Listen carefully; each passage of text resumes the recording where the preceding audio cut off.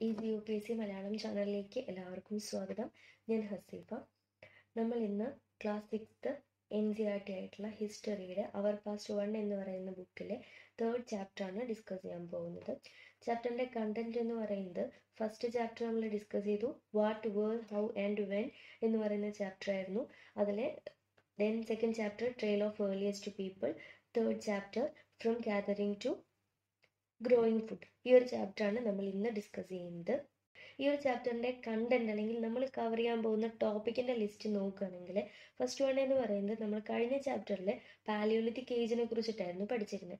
So ഈ ചാപ്റ്ററിൽ നമ്മൾ ഡിസ്കസ് ചെയ്യാൻ പോകുന്നത് പാലിയോലിത്തിക് ഏജിൽ നിന്ന് നിയോലിത്തിക് ഏജിലേക്കുള്ള ആ ഒരു ട്രാൻസ്ഫോർമേഷൻ എങ്ങനെയാണ് വന്നത് എന്നുള്ളതാണ്. അത് ഫുഡിന്റെ വെറൈറ്റീസിൽ എന്തൊക്കെ മാറ്റങ്ങളാണ് ഉണ്ടായത്? എങ്ങനെയാണ് നമ്മൾ ഫാമിങ്ങും ഹേർഡിങ്ങും തുടങ്ങിയത്? ഡൊമസ്റ്റിക്കേഷൻ എന്നാൽ എന്താണ്? ഡൊമസ്റ്റിക്കേഷൻ നമ്മൾ എങ്ങനെയാണ് തുടങ്ങിയത്? ഒരു പുതിയ ലൈഫ് നിയോലിത്തിക് ഏജ് എന്ന് പറയുമ്പോൾ തന്നെ കമ്പാരിറ്റീവ്ലി ഒരു പുതിയ ലൈഫാണ് അപ്പോൾ ആ ഒരു ലൈഫ് എങ്ങനെയാണ് സ്റ്റാർട്ട് ചെയ്തത്? എങ്ങനെയാണ് എനിമൽസിനെ ഡൊമസ്റ്റിക്കേറ്റ് ചെയ്തിരുന്നത് സ്റ്റോർ ചെയ്തിരുന്നത് തുടങ്ങിയിട്ടുള്ള ഡീറ്റെയിൽസ് ആണ് ആ ഒരു ടോപ്പിക്കിൽ കവർ ചെയ്യുന്നത്. നെക്സ്റ്റ് ടോപ്പിക് എന്ന് പറയുമ്പോൾ നമ്മൾ നിയോളിറ്റിക് സൈറ്റിനെ കുറിച്ച് പറയുന്നുണ്ട്. നമുക്ക് യു പി എസ് സി പെർസ്പെക്റ്റീവിൽ നോക്കുമ്പോൾ ഇമ്പോർട്ടന്റ് ആയിട്ട് വരുന്ന ഒരു ഭാഗമാണ് ഈ നിയോളിറ്റിക് സൈറ്റ് എന്ന് പറയുന്നത്. ഇതിൽ നമ്മൾ ആദ്യം തന്നെ ഫാമേഴ്സിന്റെയും ഹേർഡേഴ്സിന്റെയും കുറച്ച് ഡീറ്റെയിൽസ് അല്ലെങ്കിൽ ഇവർ എവിടെയാണ് കണ്ടുവന്നിരുന്നത് എന്നുള്ളതിന്റെ ഒരു മാപ്പ് നോക്കുന്നുണ്ട്. ദെൻ അതിൽ തന്നെ ഗോൾദീവ മഹാഗര ഗഫ്കൽ ചിരാന്ത് ഹല്ലൂർ എൻ പയ്യാമ്പള്ളി. ഈ ആറ് സൈറ്റുകളെ കുറിച്ച് നമ്മളൊന്ന് ഡിസ്കസ് ചെയ്യുന്നുണ്ട്. അത് എവിടെയാണ് സിറ്റുവേറ്റ് ചെയ്തിരിക്കുന്നത്? പ്രധാനപ്പെട്ട സൈറ്റിൽ ആ സൈറ്റിലുള്ള പ്രധാനപ്പെട്ട കാര്യങ്ങൾ എന്തൊക്കെ തുടങ്ങിയിട്ടുള്ള കാര്യങ്ങൾ നമ്മൾ ഡിസ്കസ് ചെയ്യുന്നുണ്ട്. ദെൻ നെക്സ്റ്റ് വൺ എന്ന് പറയുന്നത് സ്റ്റോൺ ഏജ് ആണ്. അപ്പോൾ നമ്മുടെ ഏജിനെ ഈ ഒരു പ്രീ ഹിസ്റ്റോറിക് ടൈമിന് നമ്മൾ സ്റ്റോൺ ഏജ് എന്നാണ് പറയുക. അപ്പോൾ അതിൽ പാലിയോലിത്തിക് എന്ന് പറയുമ്പോൾ ഓൾഡ് സ്റ്റോൺ ഏജ് ആയിരുന്നു. അപ്പോൾ നിയോലിത്തിലേക്ക് വരുമ്പോൾ അതൊരു ന്യൂ സ്റ്റോൺ ഏജ് ആയി. അപ്പോൾ മറ്റേതിനെ കമ്പയർ ചെയ്യുമ്പോൾ എന്തൊക്കെ മാറ്റങ്ങളാണ് ഇതിലുണ്ടായത് എന്നാണ് പറയുന്നത്. അപ്പോൾ ഇതുവഴി ഈ ഒരു സ്റ്റോൺ ഏജിന്റെ സെറ്റിൽമെന്റ്സ് ഒക്കെ കണ്ടുപിടിക്കപ്പെട്ട ഒരു ബുർസോഹം എന്ന് പറയുന്ന ഒരു സൈറ്റിനെ കുറിച്ചും നമ്മൾ എക്സ്പ്ലെയിൻ ചെയ്യുന്നുണ്ട്. അതുപോലെ തന്നെ പുതിയ ന്യൂ സ്റ്റോൺ ടൂൾസിനെ കുറിച്ചും നമ്മൾ എക്സ്പ്ലെയിൻ ചെയ്യുന്നുണ്ട്.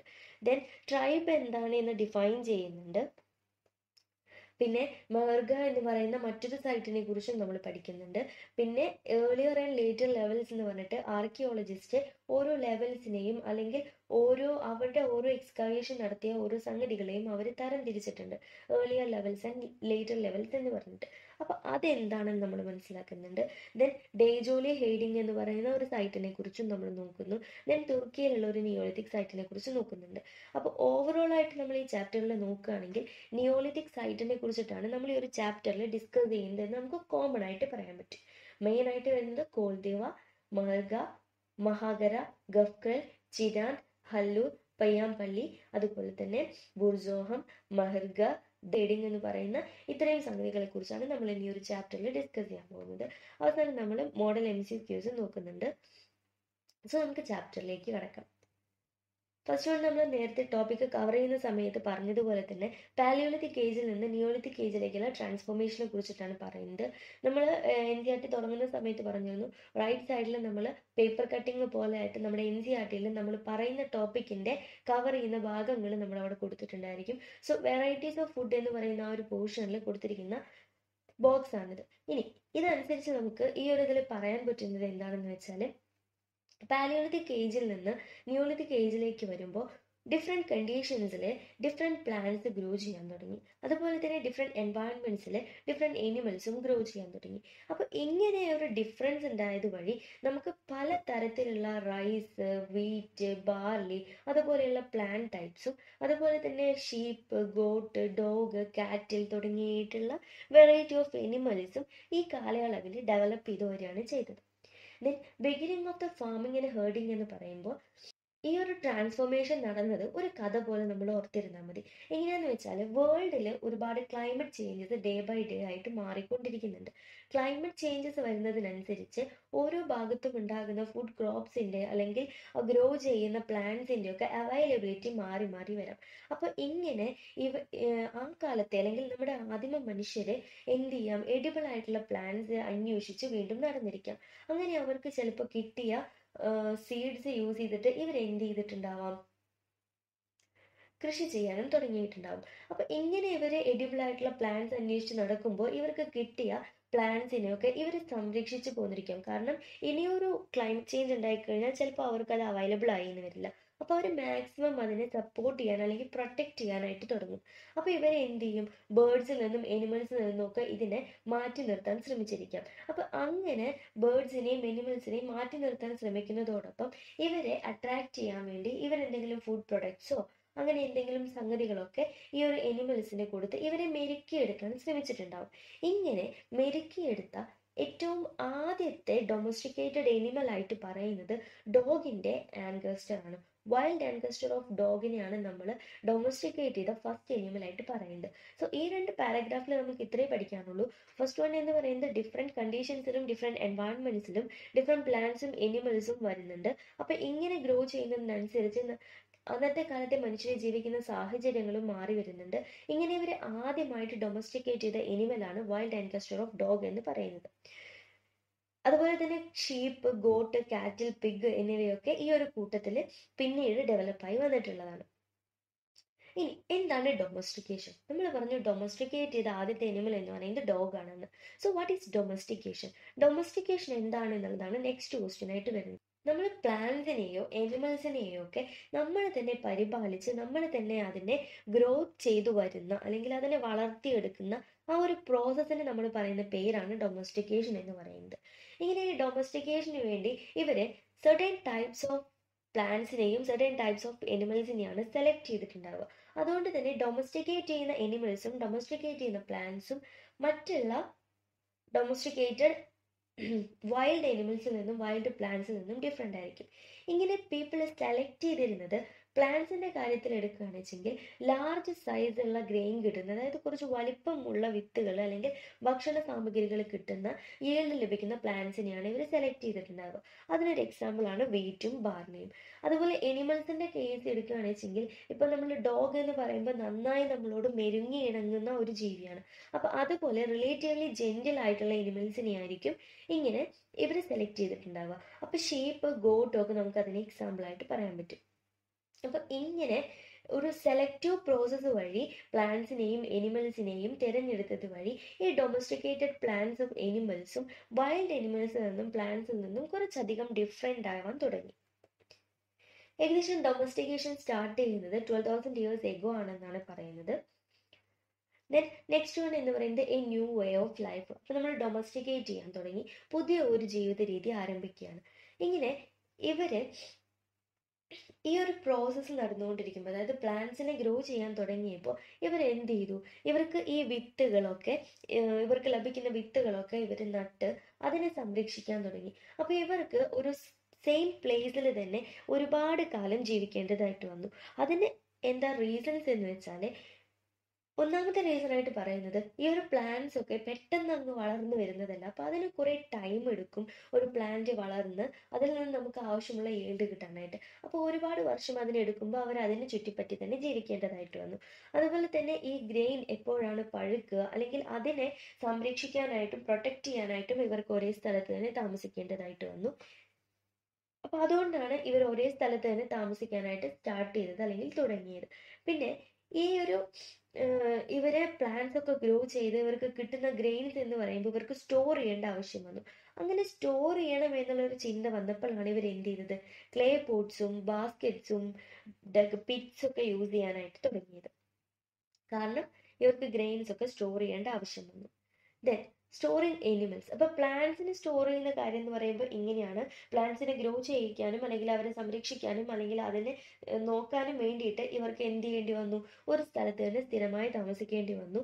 റൈപ്പൺ ചെയ്ത ഫൈനലി കിട്ടുന്ന ഫൈനൽ ഗുഡ്സ് ആയിട്ടുള്ള ഗ്രെയിൻസിനെയൊക്കെ സ്റ്റോർ ചെയ്ത് വെക്കാനായിട്ട് ഇവർ ക്ലേ ബോട്ട്സും ബാസ്ക്കറ്റ്സും ഒക്കെ യൂസ് ചെയ്യാനായിട്ടും തുടങ്ങി.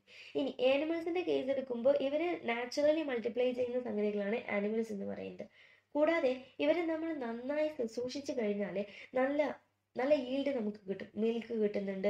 അതുപോലെ ഒരുപാട് സോഴ്സ് ഓഫ് ഫുഡായിട്ട് നമുക്ക് ഈ ഒരു എനിമൽസിനെ കാണാൻ പറ്റും. അപ്പോൾ അതുകൊണ്ട് തന്നെ ഫുഡിനെ സ്റ്റോർ ചെയ്യാനും കൂടി ഇവർ എന്ത് ചെയ്തു? ഈ എനിമൽസിനെ യൂസ് ചെയ്തു എന്നാണ് പറയുന്നത്. സോ ഇങ്ങനെയാണ് പാലോളിത്തിക് സൈറ്റിൽ നിന്ന് നിയോളിത്തിക് സൈറ്റിലേക്ക് വരുമ്പോൾ ട്രാൻസ്ഫോർമേഷൻ എന്ന് പറയുന്നത്.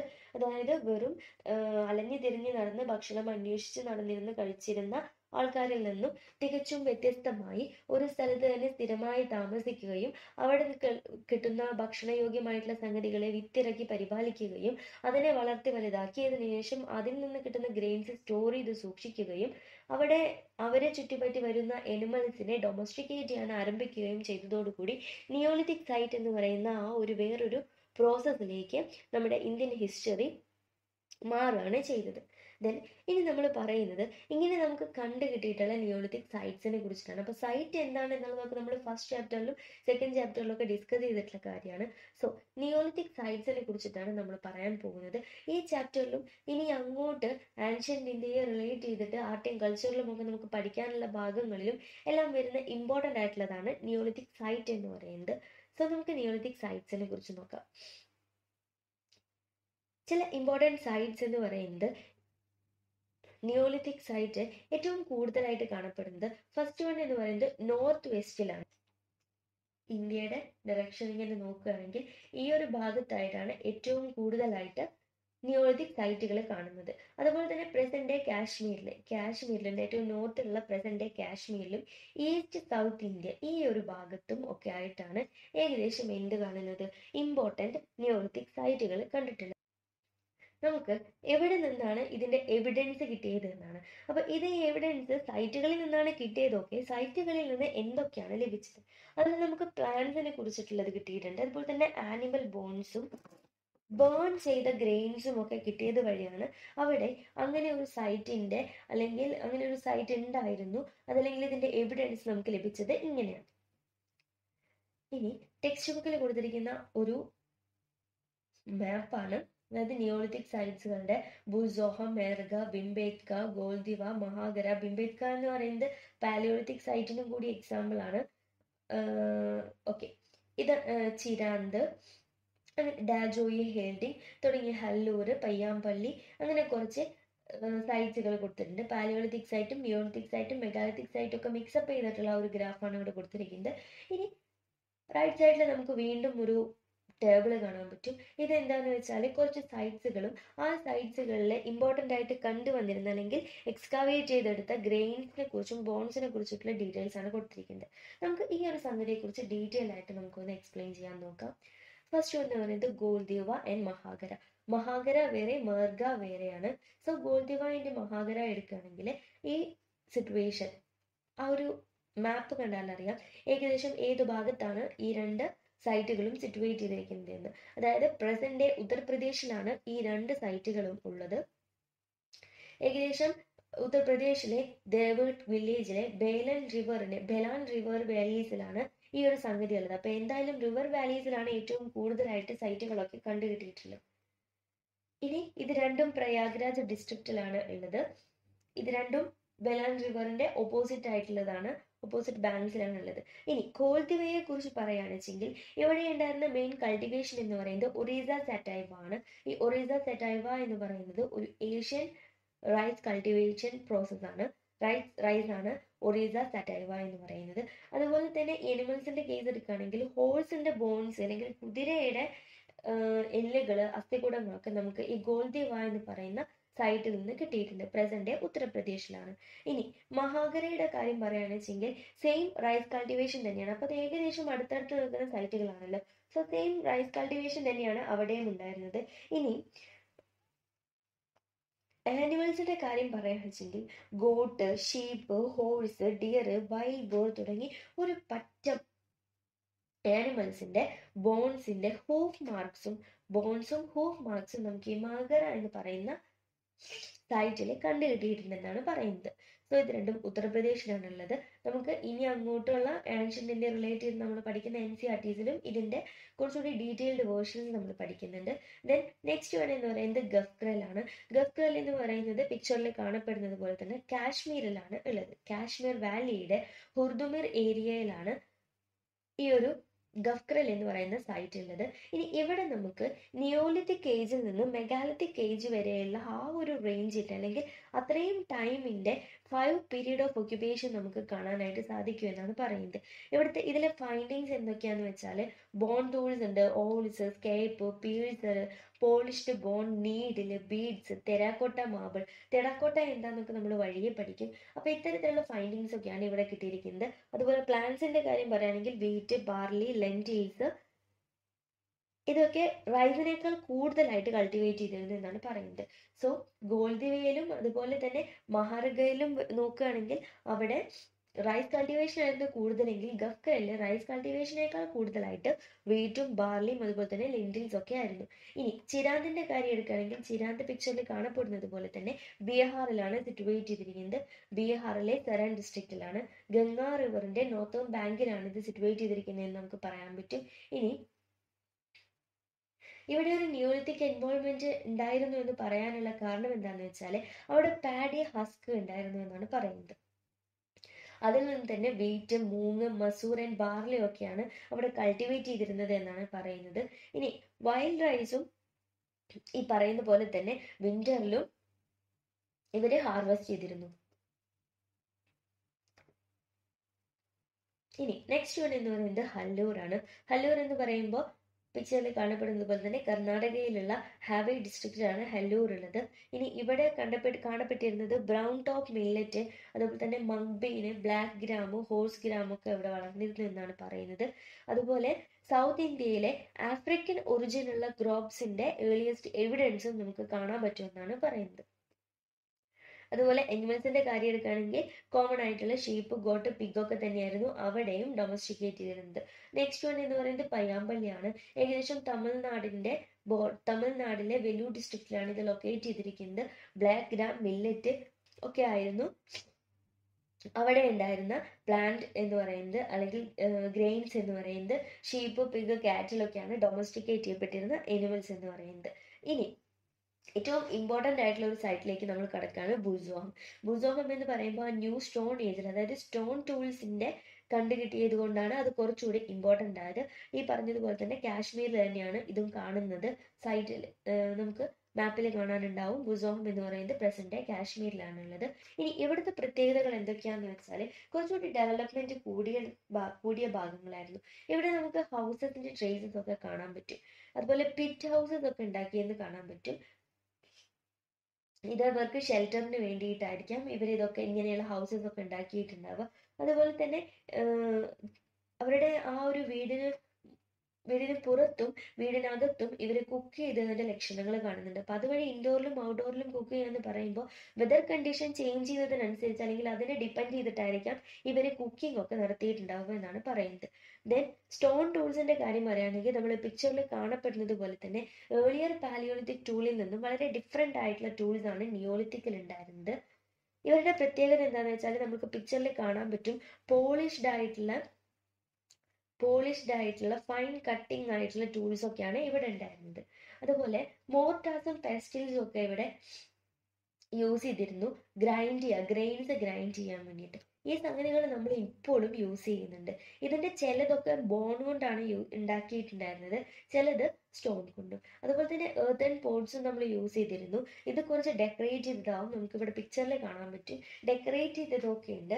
ഇത് യൂസ് ചെയ്തിരുന്നത് എന്താന്ന് എന്തുകൊണ്ടാന്ന് വെച്ചാൽ ഇവർ കൃഷി ചെയ്യാൻ തുടങ്ങിയല്ലോ. അപ്പൊ ഗ്രെയിൻസ് ഉണ്ടാകുമ്പോൾ ഗ്രെയിൻസ് സൂക്ഷിച്ചു വെക്കേണ്ടതായിട്ട് വരും. അപ്പൊ ഇവർ സൂക്ഷിച്ചു വെക്കാൻ വേണ്ടിയിട്ട് അതുപോലെ തന്നെ കുക്ക് ചെയ്യാൻ വേണ്ടിയിട്ട് ഗ്രൈസും വീറ്റും ഒക്കെ കുക്ക് ചെയ്യാൻ വേണ്ടിയിട്ട് അതുപോലെ തന്നെ ക്ലോത്ത് വീവ് ചെയ്യാൻ വേണ്ടിയിട്ട് അങ്ങനെയൊക്കെ അവർ യൂസ് ചെയ്തിരുന്നു. ഇനി ചില ചിലവര് അപ്പോഴും ഈ ഒരു ഹണ്ടിങ്ങും ഗാദറിങ്ങും ആയിട്ട് തന്നെ അവരുടെ സമയം കഴിച്ചു കൂട്ടിയിരുന്നു എന്നാണ് പറയുന്നത്. മെല്ലെ മെല്ലെ പയ്യെ പയ്യെ ഇവർ എന്ത് ചെയ്യാൻ തുടങ്ങി? ഹേർഡിങ് എന്ന് ഹേർഡിങ്ങിലേക്കും ഫാമിലേക്കും അഡോപ്റ്റ് ചെയ്യപ്പെടാൻ തുടങ്ങുകയാണ്. അപ്പോൾ ഒരു പ്രോസസ്സ് എന്ന് പറയുമ്പോൾ സ്ലോലി നടക്കുന്ന പ്രോസസ്സ് ആയതുകൊണ്ട് തന്നെ ഒറ്റയടിക്ക് എല്ലാവരും ഫാമേഴ്സും ഹേർഡേഴ്സ് ആയിട്ട് മാറിയിട്ടില്ല. പയ്യെ പയ്യെ ആണ് ഇവർ മാറിയിരിക്കുന്നത് എന്നാണ് പറയുന്നത്. ഇനി ട്രൈബ്സ് എന്ന് പറഞ്ഞാൽ എന്താണ്? ട്രൈബ്സിനെ നമുക്ക് ഡിഫൈൻ ചെയ്യാൻ പറ്റുക. ഒരു വില്ലേജിലെ ഒരു കൂട്ടം ജനങ്ങൾ അല്ലെങ്കിൽ ഒരു കൂട്ടം generation two or three generations ഒരുമിച്ച് താമസിക്കുമ്പോൾ അങ്ങനെയുള്ള ആ ഒരു ഗ്രൂപ്പ് ഓഫ് പീപ്പിൾ അല്ലെങ്കിൽ ഗ്രൂപ്പ് ഓഫ് ഫാമിലിയെ നമുക്ക് ട്രൈബ് എന്ന് പറയാൻ പറ്റും. ഇവരുടെ ഓക്യുപ്പേഷൻ ഹണ്ടിങ് ആവാം ഗാദറിംഗ് ആവാം ഫാമിംഗ് ആവാം ഹേർഡിംഗ് ആവാം ഫിഷിംഗ് ആവാം. ഇതിന് സ്ത്രീകളുടെ കാര്യം എടുക്കുകയാണെങ്കിൽ ഇവർ കൂടുതലായിട്ട് അഗ്രികൾച്ചറൽ വർക്കിലാണ് അവരുടെ ടൈം ഇൻവോൾവ് ചെയ്തിരുന്നത്. ഗ്രൗണ്ട് പ്രിപ്പയർ ചെയ്യാൻ വേണ്ടിയിട്ട് സീഡ് സോ ചെയ്യാൻ വേണ്ടിയിട്ട് അതുപോലെ തന്നെ അതിനെ ഹാർവസ്റ്റിംഗ് സീസൺസ് നോക്കാൻ വേണ്ടിയിട്ട് അങ്ങനെയുള്ള കാര്യങ്ങൾക്ക് ഗ്രൈൻഡ് ഫൈനൽ പ്രൊഡക്ട്സ് കിട്ടാൻ വേണ്ടിയിട്ടൊക്കെയാണ് വുമൻസ് ഉപയോഗിച്ചിരുന്നത് യൂസ് ചെയ്തിരുന്നത്. ഇനി ചിൽഡ്രന്റെ കാര്യം എടുക്കുകയാണെങ്കിൽ ഇവർ മറ്റുള്ള എനിമൽസിൽ നിന്നും ബേർഡ്സിൽ നിന്നും ഈ ഒരു പ്ലാന്റ്സിനെ സംരക്ഷിക്കുകയൊക്കെ ചെയ്തിരുന്നു എന്നാണ് പറയുന്നത്. മനുഷ്യ ബാക്കിയുള്ളവരാണ് വെച്ചെങ്കിൽ എനിമൽസിനെ ഒരു കൂട്ടം ഒരു കൂട്ടം ഒക്കെ ഹേർഡ് ചെയ്യാനായിട്ട് പോയിരുന്നു എന്ന് പറയുന്നുണ്ട്. അതുപോലെ തന്നെ cleaning cleaning of animals milk producing make pots baskets ഉണ്ടാക്കൽ ടൂൾസ് ഉണ്ടാക്കൽ ഹട്ട്സ് ഉണ്ടാക്കൽ ഒക്കെ ഇവരെല്ലാവരും ഒരുമിച്ചിരുന്നിട്ടാണ് ചെയ്തിരുന്നത് അതുപോലെ തന്നെ സിംഗിങ്ങും ഡാൻസിങ്ങും ഒക്കെ നമുക്ക് ആ ഒരു കാലഘട്ടത്തിലും ഉണ്ടായിരുന്നു എന്ന് പറയാൻ പറ്റും. ഇനി മഹർഗ എന്ന് പറയുന്ന സൈറ്റിനെ കുറിച്ച് പറയുകയാണെന്നുവെച്ചെങ്കിൽ ഈ പിക്ചറിൽ കാണപ്പെടുന്നത് പോലെ തന്നെ പാകിസ്ഥാനിലെ പ്രസന്റ് ഡേ പാകിസ്ഥാനിലെ ബലൂചിസ്ഥാനിലെ കച്ചി പ്ലെയിനിലാണ് ഇത് കാണപ്പെടുന്നത്. ഇനി ഇതിന്റെ മറ്റൊരു എക്സാമ്പിൾ പറയാൻ മറ്റൊരു കാര്യം പറയുകയാണെങ്കിൽ ഇറാനിലേക്കുള്ള റൂട്ടാണ് ഇതെന്നും പറയപ്പെടുന്നുണ്ട്. അതുപോലെ തന്നെ വീറ്റ് ബാർലി അത് വീറ്റ് ബാർലി അതുപോലെ ഷീപ്പ് ഗോട്ടൊക്കെ ആദ്യമായിട്ട് കണ്ടതും ഈ ഒരു കണ്ടതും ഈ ഒരു ഭാഗത്താണ്. അതായത് ഫസ്റ്റ് ടൈം ആയിട്ടാണ് ഈ ഒരു ഏരിയയിൽ കണ്ടിട്ടുള്ളത്. ഇനി ബോൺസ് എന്ന് പറയുമ്പോൾ ഓരോ ഓരോ ലെവലിലായിട്ട് പിഗിന്റെയും ഡിയറിന്റെയും ഷീപ്പിന്റെയും ഗോട്ടിന്റെയും കാറ്റൽ ബോൺസിന്റെയും ബോൺസ് കിട്ടിയിട്ടുണ്ട്. നമ്മൾ ലെയേഴ്സ് എന്തൊക്കെയാണെന്ന് വഴിയെ പറയുന്നുണ്ട്. അതുപോലെ തന്നെ റെക്ടാങ്കുലർ ഹൗസസിന്റെ സ്ക്വയർ റെക്ടാങ്കുലർ ഹൗസസിന്റെ റീമൈനിങ്സും ഇവർക്ക് കിട്ടിയിട്ടുണ്ട്. അപ്പൊ ആ ഒരു റീമൈനിങ്ങിൽ നമുക്ക് മനസ്സിലാക്കാൻ കഴിയുന്നത് എന്താണെന്ന് വെച്ചാൽ ഒരുപാട് സ്റ്റോറേജ് ഉള്ള മൂന്ന് കമ്പാർട്ട്മെന്റ്സ് അതിലുണ്ടായിരുന്നു നമുക്ക് പറയാൻ പറ്റും. ഇനി ഈ ഒരു പിക്ചറിൽ കാണാൻ പറ്റും. ഒരു അസ്ഥിക്കൂടമുണ്ട്. അതിന്റെ കൂടെ വേറൊരു എനിമലിന്റെ അസ്ഥിക്കൂടമുണ്ട്. അതുപോലെ ഒരുപാട് പിക്ചേഴ്സ് ഇവിടെ കമ്പൈൻ ചെയ്ത് കൊടുത്തിട്ടുണ്ട്. അപ്പൊ ഇതെന്താന്ന് വെച്ചാൽ ബ്യൂരിയൽസ് അവിടെ ഉണ്ടായിരുന്നു. ഈ ബ്യൂരിയൽസിലൊക്കെ ഗോഡ്സ് ഉണ്ടായിരുന്നു എന്നാണ് പറയുന്നത്. അപ്പൊ ഡെഡ് പേഴ്സന്റെ കൂടെ ഇങ്ങനെയുള്ള ബ്യൂരിയൽസിലെ എനിമൽസിനെ കൂടി വെക്കുന്നത് വഴി ഇവർ മരണാനന്തര ജീവിതത്തിൽ വിശ്വസിച്ചിരുന്നു എന്ന് നമുക്ക് കരുതേണ്ടി വരും. ഇനി earlier level and later levels എന്ന് പറഞ്ഞു. ഈ ഏർലിയർ ലെവൽ ലേറ്റർ ലെവൽ എന്ന് പറയുന്നത് ഏറ്റവും താഴെ കിടക്കുന്ന ലെയർ ആദ്യം ഒരു ഫ്ലാറ്റ് ലാൻഡ് ലാൻഡ് ആയിരുന്നിരിക്കാം ഇവിടെ ഒരുപാട് ജനങ്ങൾ ജീവിക്കുകയും അവിടെ അവരുടെ വീടുണ്ടാക്കി അവർ താമസിക്കാൻ തുടങ്ങി. ഒരുപാട് വേസ്റ്റുകളൊക്കെ ഡിസ്പോസ് ചെയ്യുകയൊക്കെ ചെയ്ത് പയ്യെ പയ്യെ അതൊരു മൗണ്ടായി മാറിയിട്ടുണ്ടാവാം. അപ്പോൾ സ്വഭാവത്തിൽ നെക്സ്റ്റ് ജനറേഷൻ എന്ന് പറയുമ്പോൾ ഈ ഒരു മൗണ്ടിന്റെ മുകളിലായിരിക്കും അവരുടെ സർഫസ് എന്ന് പറയുന്നത്.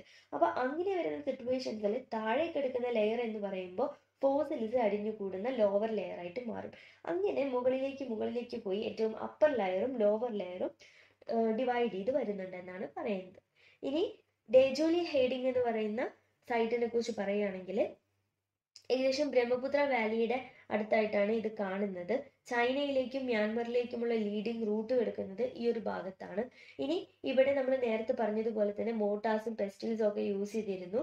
അതുപോലെ തന്നെ ഗ്രെയിൻസ് ഒക്കെ വളർത്തിയിരുന്നു. ദെൻ ജേഡൈറ്റ് എന്ന് പറയുന്ന ഒരു സ്റ്റോണ് ഇവർ എന്ത് ചെയ്യുന്നുണ്ട്? ചൈനയിൽ നിന്ന് കൊണ്ടുവന്നിട്ടുണ്ട്. അതുപോലെ തന്നെ ഫോസിൽ വുഡ് കൊണ്ടും ഇവർ ടൂൾസ് ഉണ്ടാക്കിയിരുന്നു. ദെൻ പോട്ടറി എന്ന് പറയുമ്പോൾ പോട്ടറിയും അവിടെ ഉണ്ടായിരുന്നു എന്നാണ് പറയുന്നത്. അപ്പൊ ഡേജോലി ഹെയ്ഡിങ്ങിൽ സ്റ്റോൺ ടൂൾസ് ആയിട്ടുള്ള മോട്ടാസും പെസ്റ്റിൽസും കണ്ടിട്ടുണ്ടായിരുന്നു. അതുപോലെ തന്നെ ഗ്രെയിൻസ് വളർ വളർത്തിയതിന്റെ റിമൈനിങ്സ് ഉണ്ടായിരുന്നു. ജേഡൈറ്റ് എന്ന് പറയുന്ന സ്റ്റോൺ ചൈനയിൽ നിന്ന് അവർ കൊണ്ടുവന്നിരുന്നു. പോട്ടറി ഉണ്ടായിരുന്നു എന്നൊക്കെയാണ് പറയുന്നത്. ഇനി തുർക്കിയെ കുറിച്ച് പറയുകയാണെങ്കിൽ നിയോളിത്തിക് സൈറ്റിലെ അതായത് നമ്മുടെ ഇന്ത്യയിലുള്ള നിയോളിത്തിക് സൈറ്റുകളെ കുറിച്ചാണ് പറഞ്ഞതെങ്കിൽ തുർക്കിയിലെ ആ ഒരു സമയത്തുണ്ടായിരുന്ന ഫേമസ് നിയോളിത്തിക് സൈറ്റ് ആണ് കാറ്റൽ ഹുയൂക്ക് എന്ന് പറയുന്നത്. കാറ്റൽ ഹുയൂക്ക് എന്ന് പറയുന്നത് ഫേമസ് നിയോളിത്തിക് സൈറ്റ് ആണ് ഇവിടേക്ക് ഒരുപാട് സാധനങ്ങൾ കൊണ്ടുവന്നിരുന്നത് സിറിയയിൽ നിന്ന് സിറിയയിൽ നിന്ന് ഫ്ലിഞ്ച് റെഡ് സീയിൽ നിന്ന് കൗറീസ് മെഡിറ്ററേനിയൻ സീയിൽ നിന്ന് ഷെൽസ് ഒക്കെയാണ് കൊണ്ടുവന്നിരുന്നത് എന്നാണ് പറയപ്പെടുന്നത്. അതുപോലെ കാർട്ടൊന്നും ഉണ്ടായിരുന്നില്ല. അപ്പൊ അതുകൊണ്ട് തന്നെ ഇവർ എനിമൽസിന്റെ ബാക്കിൽ വെച്ചിട്ടാണ് ഈ സംഗതികളൊക്കെ കൊണ്ടുവന്നിരുന്നത് എന്നാണ് പറയുന്നത്. സോ ഇതോടുകൂടി നമ്മുടെ ചാപ്റ്റർ തീർന്നു. ഒന്ന് റിവൈസ് ചെയ്ത് നോക്കുകയാണെങ്കിൽ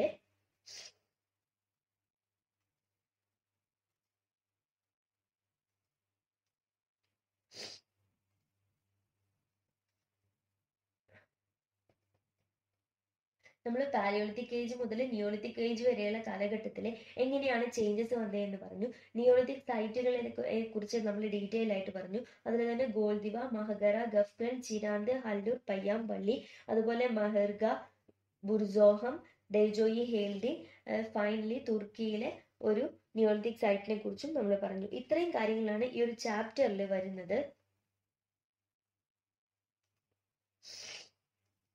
ഇനി മോഡൽ എം സി ക്ക് നമുക്ക് നോക്കുകയാണെങ്കിൽ ഫസ്റ്റ് ക്വസ്റ്റ്യൻ എന്ന് പറയുന്നത് which was the first animal to be tamed നമുക്ക് ഒരു പ്രശ്നം കൂടാതെ പറയാൻ പറ്റും ഡോഗ് ആണെന്ന്.